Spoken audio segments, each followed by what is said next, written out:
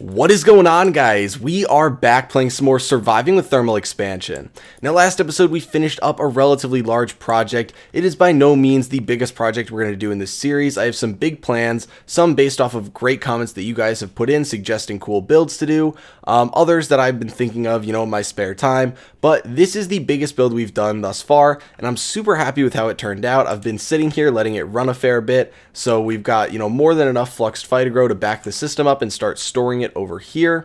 Uh, I have made some small adjustments to the system that we'll go over a little bit later on in this episode. But today we're not going to be doing anything crazy. It's going to be more of a housekeeping episode. If you don't know what that means, we're just going to take care of miscellaneous things around the base, hooking things up, moving some machines, uh, doing a little bit of building. And I know that might not seem like the most exciting thing. So if you're only here for brand new, you know, information on machines 15 minutes and then you're gone and that's all you want then i would suggest that you know you probably shouldn't watch this episode. You might be a little bit displeased with where it goes but if you enjoy listening to me talk and do you know random things on camera then feel free to stick around and uh, hopefully you will enjoy it. But there is a lot of stuff that we need to take care of before we can start doing bigger projects and uh, a lot of that involves moving most of these machines, if not all of them, inside the house, getting them wired up so that this system can actually function because I believe we're going to start having power issues soon, if not already. Okay, so we are already having power issues. Never mind, this system can't be running right now because we don't even have power. So this is a little bit more urgent than I otherwise would have let on. Um, but yeah, so we're going to do that. We're going to do a little bit of building. Again, go over some of the changes I've made to that setup. And I think that's going to be it. So the first thing that I want to talk about is I have made a diamond axe. I know there was at least one person that was very, very mad that I had yet to make an axe, and I was trying to hold out on making it uh, just because whenever I'm off camera, I'm always watching something when I play Minecraft, so sitting there and just kind of punching wood when I need it isn't a huge deal, and it's very rare on camera that I'm breaking a ton of wood, so I typically just don't see a point in making an axe until I can make uh, you know, the best one, which is eventually going to be one that we can charge up, and we don't need to constantly be remaking. But when I went on a mining trip, I did a bunch of gathering because we were pretty low on resources, and I go on my mining trips until my picks break, so I went to make a fresh pick, and I was like, you know what, why don't we just make an axe? So the first thing in business is to just let you know that I now have an axe. I will no longer be standing here punching wood when we're doing building. It'll be a lot faster now. Um, next thing that we need to go over is getting all these machines inside. So I think the best course of action is going to be getting all these machines, or at least I think from here over pretty much, are all machines that just kind of run and don't hook up to anything else. So for example, if we look down here, we have a magma crucible, we've got a fluid transposer. All these aren't really intricate setups. So we can just pop most of these off. And some of these are for our ore processing setup. I can put them back uh, in the house. We'll have to do a little bit of setup on those, but things like this over here, uh, the compactor, that's a machine that just runs on its own. And then uh, the phytogenic insolator, this one's interesting because we don't really need that anymore um, unless we want to make wood or, I guess, food. We could use it for food now that we have the flux phytogro. And that should be most of the stuff that we need. We can grab the leadstone flux ducts so that we can actually wire stuff up. And it looks like our energy storage is inside. So the rest of this is pretty much just the power generation setup, which will be moving most likely behind the base. Um, I don't think I'll do that just yet. I don't even know if I'll do this on camera because it's a little bit of a hassle to kind of move everything and regrow the trees, but we can start moving stuff inside. So I think my plan is to put it on this back wall over here. The chests are not going to stay there permanently. I think we'll probably put the storage stuff upstairs. Uh, but I don't have a way to get up there yet, which will probably be a staircase coming down over here. So it's not going to be right in front of the door, but it'll be over there in an area we probably won't use. Uh, so I think what I want to do is, I'm trying to think of the ones, like the compactor is one, uh, the fluid transposer needs to go next to the, wait, what? Did I have two of these? What? Okay, that makes no sense to me. I don't know why I would have... Oh, wait. Is one of these used in the ore pro... I don't know. I don't know. You know what? I... It's been a long day. I don't know why I have two of those, honestly. Uh, so what we're going to do over here is probably put down some cobblestone, which is going to go where wiring would eventually go, and then we'll put down some of these machines. So I think we'll put fluid transposer, magma crucible right next to it, and just make sure, yep, it's properly configured. It all it needs to do is output to the right side, and then this one is accepting from the left. So those are ones that kind of need to go near each other, but ones like the energetic infuser, uh, this one can just go right here. It doesn't need to be next to anything. The compactor, depending on what we want to use it for, it can just go there. Obviously, you can have it on storage mode or press mode. Um, I suspect we'll probably end up using it for random things here and there, no automation. So, uh, again, another machine that can kind of just sit on its own. Um, and then we've got all the stuff from our ore processing setup. So we might need to put that kind of back together over here for the time being. Uh, someone did have an awesome suggestion for a three times ore processing setup and I actually think it was really cool. So we're going to be doing that later on in the series, but it requires a very large amount of time and a very large amount of resources. So definitely not something we're going to do just yet. So we kind of need to set this back up. So I'm trying to remember how we actually did it. Phytogenic insolator was not used. Um, did we use the compactor? I'm trying to think. I don't know why else we would have had that, but I'm pretty sure all we did was igneous extrude and then pulverize into sand and then put that into the induction smelter. I'm pretty sure that's all we did. Um, but maybe I'm wrong. I don't know. But I think we'll put that right here and do a vertical one then. So if we do igneous extruder, pulverizer, and then induction smelter, I think that should cover everything. Uh, if we look at cobble, we can look at the uses for that just to make sure. I know this is pretty bad because I set this up already, but honestly, uh, it's so weird because so we pulverize the cobble and we're going to need the cache, of course, for the gravel to go into when it's in excess. And then we use the sand in the induction smelter.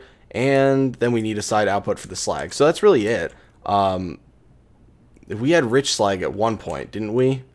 That could be what it was for. So we used sand. And then, what was I even looking at? Induction smelter. So these produce slag. How do we get rich slag? Because that's what we were getting. I assume that's what has to do with this. So we get rich slag when you process using... Where is it? Yeah, when you process any ore using sand, you have a chance of getting rich slag. Okay, so I guess I was just looking at the wrong recipes. So uh, this cache right here is for the rich slag. So that one is going to go right next to the induction smelter down here. So that'll go there, and we'll make sure that the yellow output needs to be on this side. It really depends where we want the chest to be. I think we'll put the chest down here.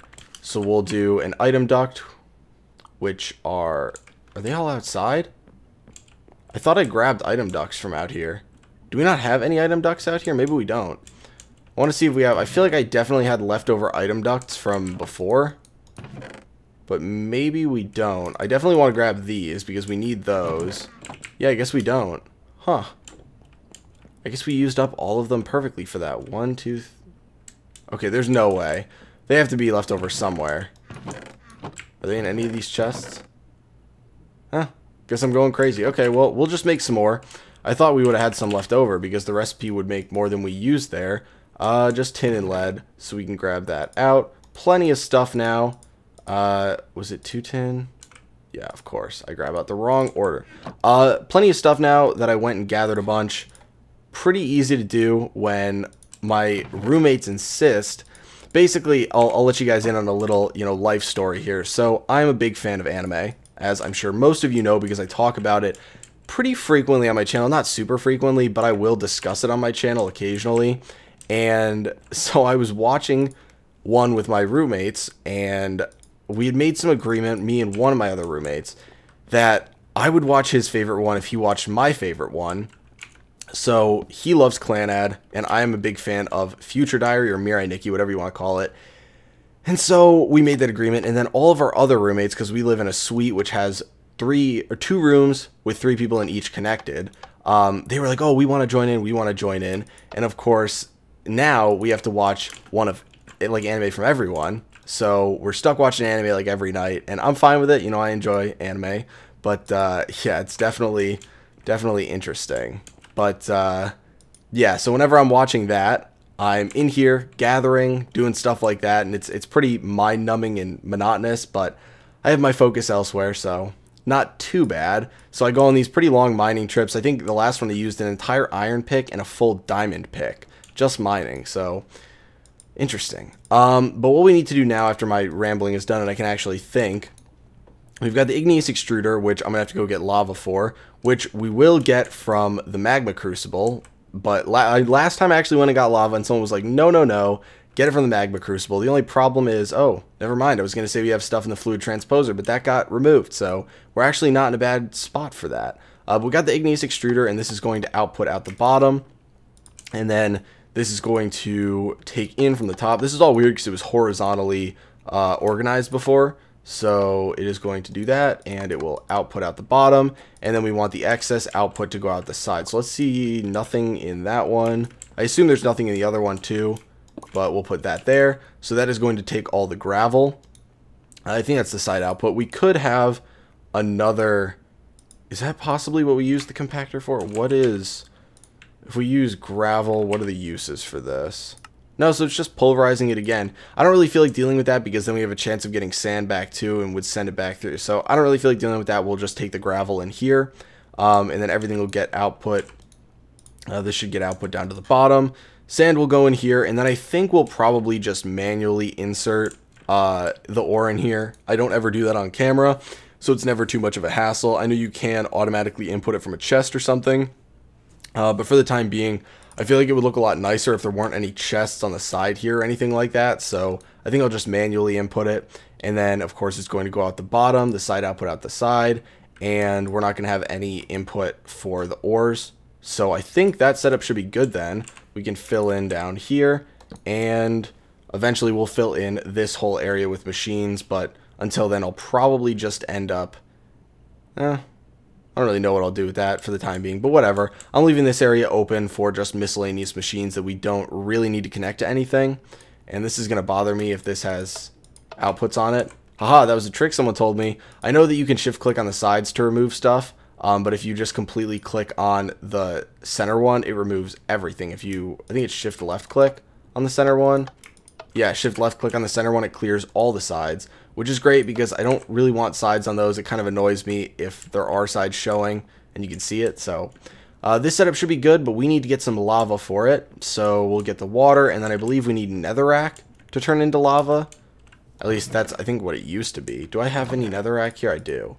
Uh, let's check out lava. What is the recipe for this? Lava, and we get that from either obsidian or netherrack. So, looks like one piece should actually be more than enough. And let's grab some water. Say hello to our little friend over there. And head back inside. I should probably bring the bed in and sleep, but we should be fine for now. The nice part of actually having a house for once in a series is I don't need to deal with things at night. I can just let things be. Okay, so the igneous extruder is up there. Fill that with some water, and then come... It does. Oh, that's so weird, because you could normally pull stuff out of this, so you can't actually open it with the...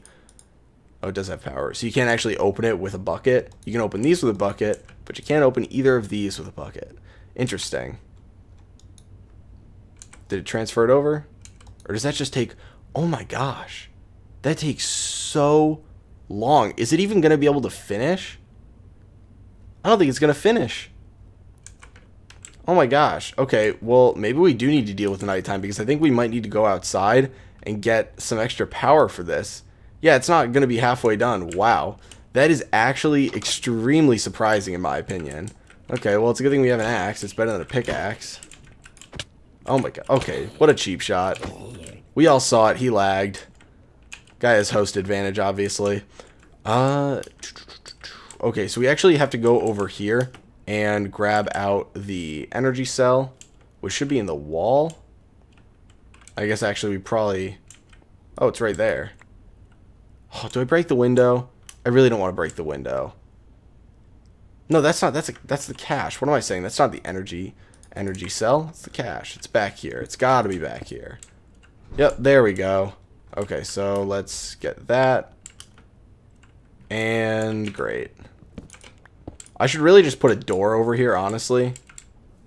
You know, we'll fill it in now because we're never going to have to do that again because the whole purpose of today is to actually wire this stuff up properly. So, not going to have to deal with that again, but I definitely should have put a door in over here, sort of like a maintenance hatch or something.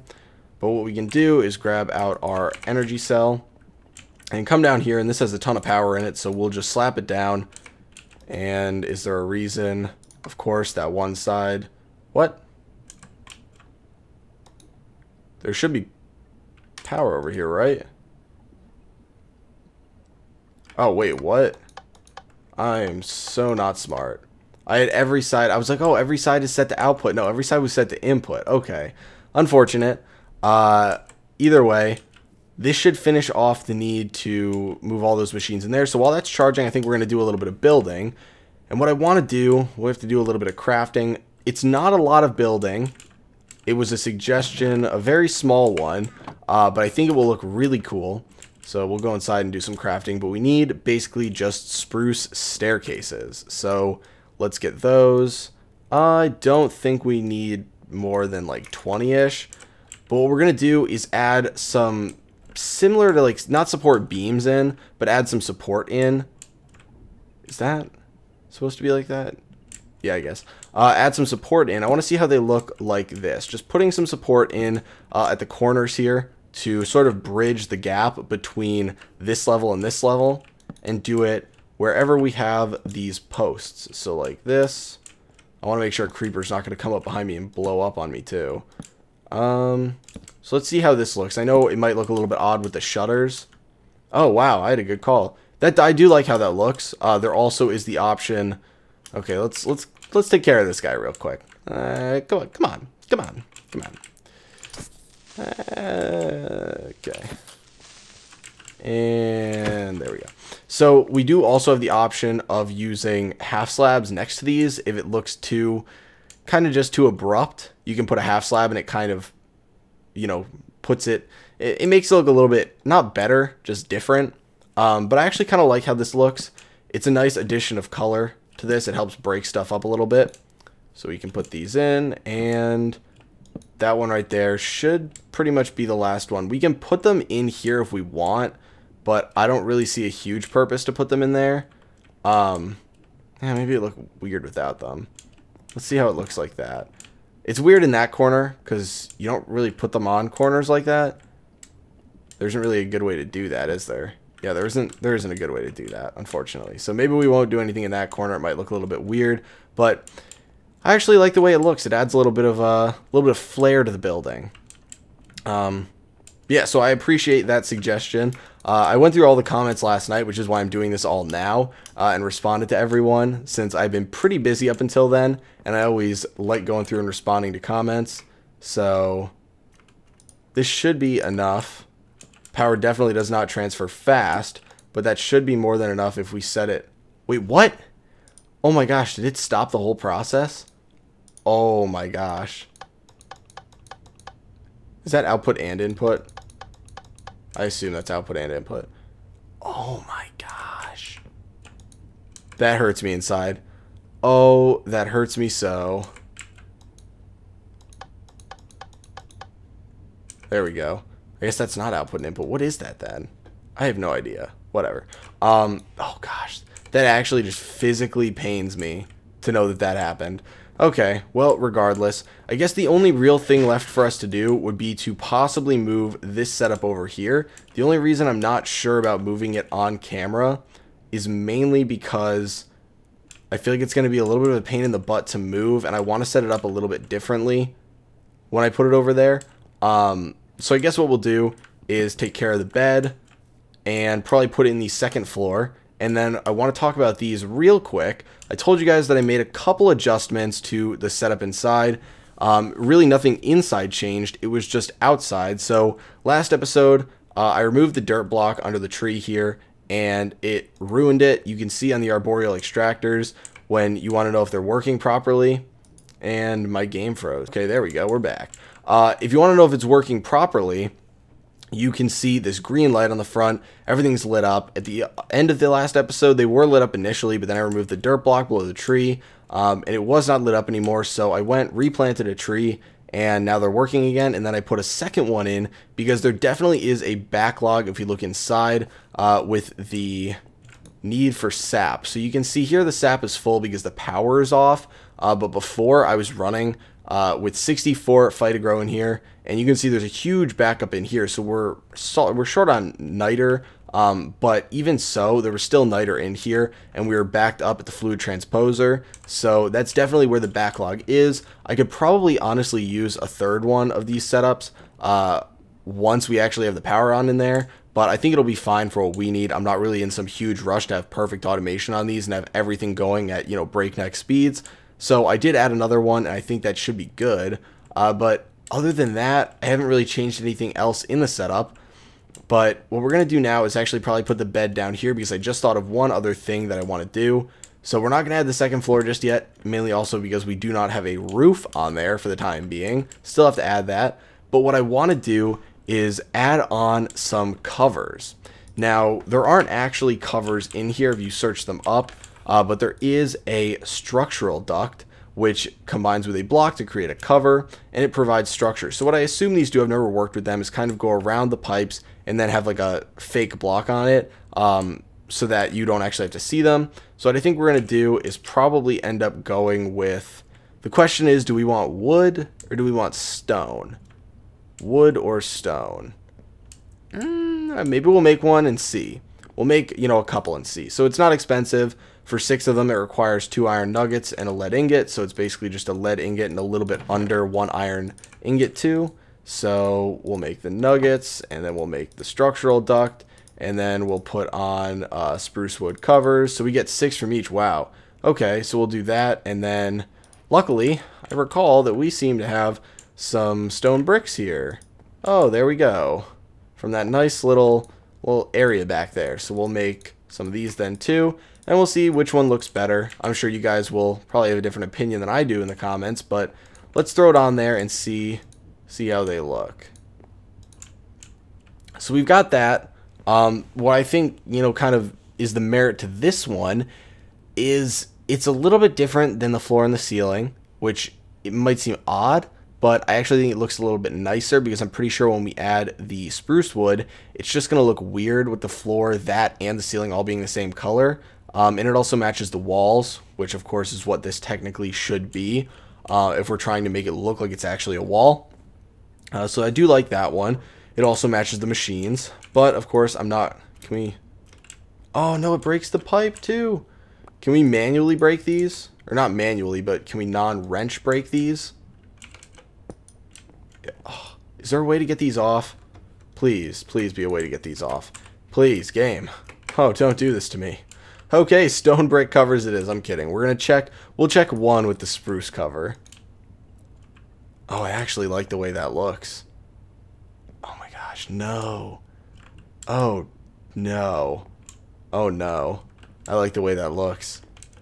Now, you know, we're going with the stone. Let me know. You guys have a little visual of that. Clearly, it's going to be a pain in the butt. There, there has to be a way, please someone tell me the way to get these off without removing the pipes too. There has to be. Wait, wait. I figured it out. Solved it. Solved it. Solved it. I'm so smart. Never mind. Okay, let's... That was just a fake clip right there. Let's check what they look like with all these on there.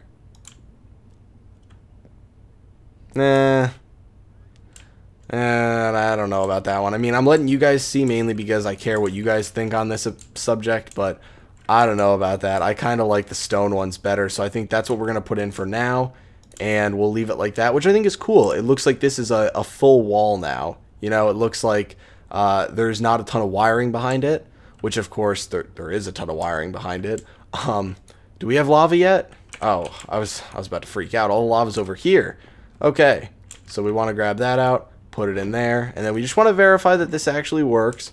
So it'll come down here, and then this will make sand, and then it'll go in here, and then if I wanted to, I could throw some cobble in there, and it would cook down, and then kick out into the chest below here. So this one should properly properly function. There we go. We'll let it run. We're going to get some nice stone bricks from this. It's basically what we have going on over here, too. I wonder if we'll get slag from this one. Wow, we're so lucky. And then, of course, the stone brick gets kicked out down there. Nope, don't want that actually running again but I'll fill that up with some of my sand, and it looks like this system is functioning properly. So I think that's going to be it for today, guys. Uh, didn't get through everything I planned on doing, Not really for lack of time, but I think this would be a really, for lack of a better way to say it, just a super annoying thing to move on camera, honestly. Uh, it's just, it's a lot of stuff to move and set up properly again, and I want to keep most of it underground. I really only want to see the tree and the arboreal extractors, so all of this stuff is going to be moved behind the house over here. I cleared out the area, and it's going to go underground, and I think we're going to set up two of those. So uh, probably not going to do that on camera, but I will show you guys at the start of next episode these. Uh, and then we should be able to start on some new projects. So if there's anything specific that you guys want to see, feel free to let me know in the comments. Your suggestions have been great so far, whether it's how to improve buildings, how to improve, you know, any of the setups that we've made, all just all amazing things. So I want to say thank you guys for making my life a little bit easier when it comes to planning from episode to episode. Um, and I also want to say thank you for what has to be one of my most highly upvoted comments on a video, uh, you know, and pretty much forever, which was someone said that, you know, just take real life seriously. Don't worry so much about YouTube and putting out videos and everything and rushing them and, and making my life hectic to, to try and keep up with YouTube and with school. And, you know, everyone seemed to kind of echo their sentiments, um, saying that, yeah, it, it's perfectly fine to take time to do real life stuff and that you guys don't expect me to constantly be putting out videos. And I do appreciate that. Uh, obviously, you know, I understand it, but still, I always do feel guilty regardless of what you guys say, just because uh, I personally like recording videos and uploading them, so I do feel guilty when I don't do it. But um, I do appreciate you guys saying that and, you know, understanding that it can get a little bit busy sometimes, uh, and there's not a ton that I can do about that. But again, I think that's going to be it for today, guys. If you have any suggestions, let me know in the comments. Thanks for watching the housekeeping episode, uh, as it is, and I will talk to you guys later.